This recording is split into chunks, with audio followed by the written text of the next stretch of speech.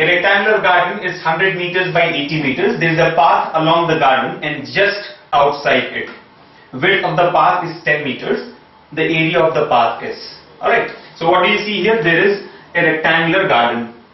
The dimensions are given to us, right? 100 meters by 80 meters. So the length here is 100 meters and the breadth is 80 meters. Alright. So you know the length and the breadth of this garden. Next you say that there is a path along the garden, right? So there's a path along the garden and just outside it. So basically we have, uh, uh, you know, let's say footpath or a boundary here, which is just outside the garden. I'll put the dimensions again, but it is get the figure right. So this is the path just outside the rectangular garden. You understand? So this is 100 meters. The length of the garden is 100 meters, its breadth is 80 meters, and then there is a path outside it, and the width of this path is 10 meters, right? This is given as 10 meters. This 10 meters, right? All along the sides it is 10 meters. And we have to measure the area of the path, right? What will be the area of the path? So basically the shaded region here, right? What is the area of this shaded region? Alright? Now how do you get that? See, you know the length and the breadth of the inner rectangle, right? This is like a rectangle inside a rectangle. So we know the length and breadth of the inner rectangle. Length is 100 and the breadth is 80. Now, to find out the area of this path, what do we need? The length of the, we need the area of the outer rectangle and area of the inner rectangle, right? What is the area of the shaded region? Outer rectangle minus inner rectangle, right? Outer rectangle minus inner rectangle will give us the area of the shaded region. Now to find out the area of the outer rectangle, we need to the we need to know the length of the outer rectangle and the breadth of the outer rectangle. Can that be determined? Yes, very easily. See, this length is 100 meters, right? This length is 100 meters. So what will be the length of the outer rectangle? Are you able to follow? This length here is 100 meters. What will be the length of the outer rectangle? 100 plus 10 plus 10, right? 10 on this side, left side, and 10 on the right side, extension. Likewise, uh, uh, what is the breadth of the outer rectangle?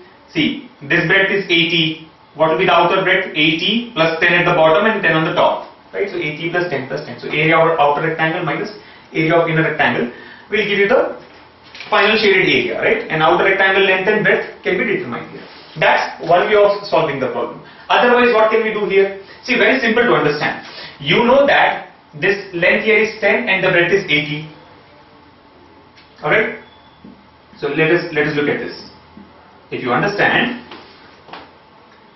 uh, or, or, let us let us go by the regular method. I'll, I'll show you the smart method later. Let us first solve the question that way. So this shaded region or the area of the path, area of the path can be taken as outer rectangle minus the inner rectangle.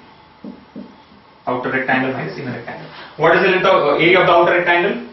Length into breadth, right? Length can be taken as 100 plus 10 plus 10 into breadth will be uh, 80 plus 10 plus 10. 80 plus 10 plus 10 minus inner rectangle. What is the area of the inner rectangle? Length into breadth. We know that length and breadth directly here, right?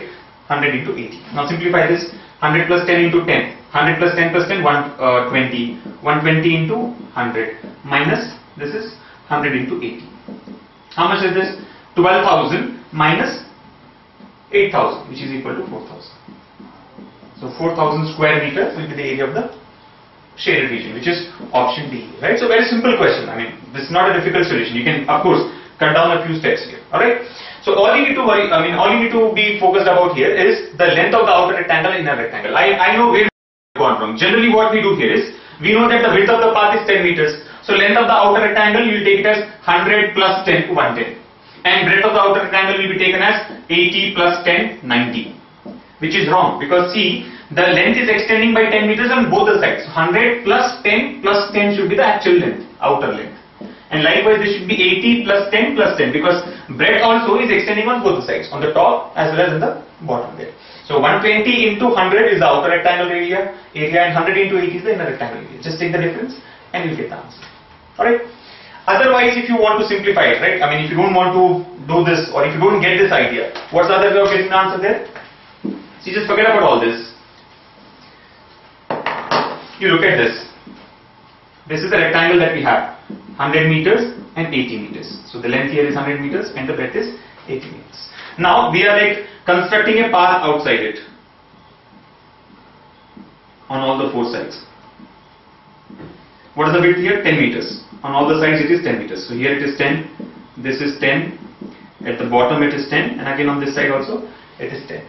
If you look at it, what is the total length of this inner rectangle or basically the perimeter of this inner rectangle? 100 plus 80, 180, 180 plus 100, 280, 280 plus 80, 360. Right? So we know the th uh, perimeter of this rectangle 360. Now if you if you open this, right, now it is like a closed box on which you have created some path outside it. But if you open what happens? There will be a straight line of length 360 meters which has been extended by 10 meters on outside. Right? This width is 10 meters. What will be the area of this region, total region? 360 into 10. 360 into 10 which is equal to 3600. Alright, but as the question says that the path is along the garden and outside it. And if you look at it, this is not covering the entire garden. There are some spots left out, right? These four corners are left out. So let us understand what is the area of each of these corners, right? Area of each of these corners. See, look at it. This width is 10 meters and this is also 10 meters, right? This is 10 and this is 10. So what will be the area of this portion here? 10 by 10, 100. And how many such corners do we have? 4 such corners. So 100 into 4, 400. So we can say 360 into 10, 3600 which is because of the perimeter of the rectangle and at the 4 corners we will get 400. So what will be the total area? Are you able to follow?